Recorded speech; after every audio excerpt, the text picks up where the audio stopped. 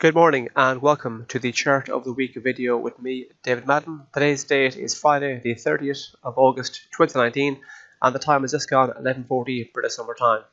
And this week's chart of the week is silver.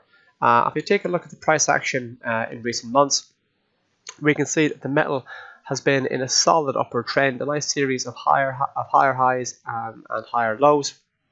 It's a classic def definition of an upward trend. You could even argue the case that the rate at which it's been pushing higher since mid-July has actually been quite steadily, quite steady, and and um, we may even see not so much a turnaround in the overall direction, but we might see a decline, a, a decline in the rate at which is increasing. So a more kind of um, more slanted upward slope rather than the kind of aggressive, almost kind of you know kind of 60 degree angle type movement we've seen here in recent weeks and recent months.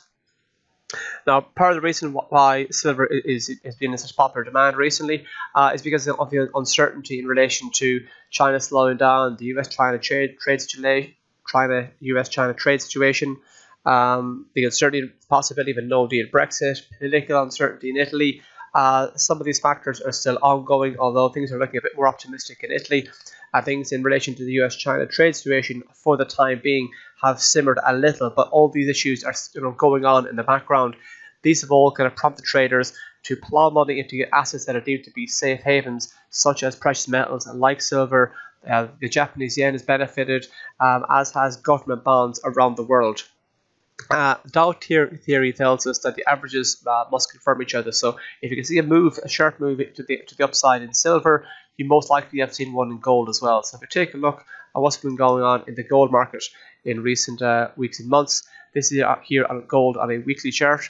Gold uh, in recent weeks and months has, has gone on to hit a level not seen since early 2013. So we're talking like levels that are six-year highs in gold the levels that we've seen recently in silver have been uh, levels not seen in over two years. So the gold market is pushing higher, the silver market is pushing higher. We can be more confident that the rally is going to continue in precious metals. Although there obviously no guarantees, but it makes if uh, if, if silver hit a, hit a two-year high and gold hit a six-year high, we can be more confident that the kind of bullish trend in silver is going to continue. And if you do manage to kind of press on beyond here, uh, we're, we're currently at around 14, sorry, 18 spot 40 on the silver market. If we do continue to kind of press on on from here, and we do manage to take off this level here uh, in April 2017 at 18 spot 65, if you manage to go beyond that, we could be looking heading up toward the psychologically important 20 bucks um, mark.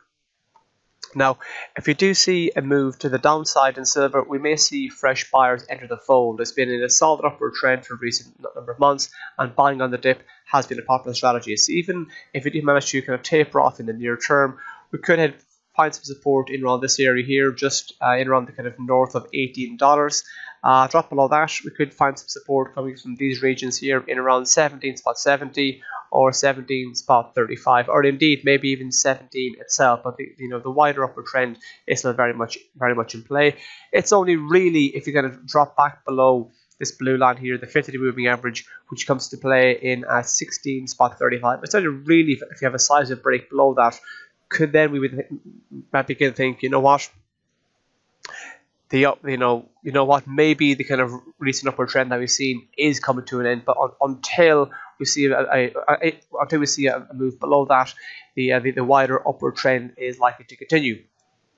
Uh, if you are trading the silver market, please keep an eye out for um, the US core PCE um, reading, which comes out today at 13:30 British Summer Time. It gives an indication of uh, underlying a true demand in the United States, which in turn could impact uh, the Fed's decision in, re in, relation to interest rates uh, next month. There's a lot of chatter uh, in, in the markets that the, the Fed are, are going to lower rates. Should that be the case, that will be likely to soften the US dollar and assist the silver market. But if um, we do see economic indicators out of the US in the between now and then that are actually quite strong, that could suggest the Fed might uh, hold fire in terms of cutting interest rates. That could firm up the US dollar and, and in turn potentially uh, have a slightly negative impact on the silver market because silver uh, is traded in US dollars. Uh, that's all for me this week. Uh, if you have any comments to make in this video or any of the other videos we've made here at CMC Markets, please feel free to leave a review on reviews. Thank you very much.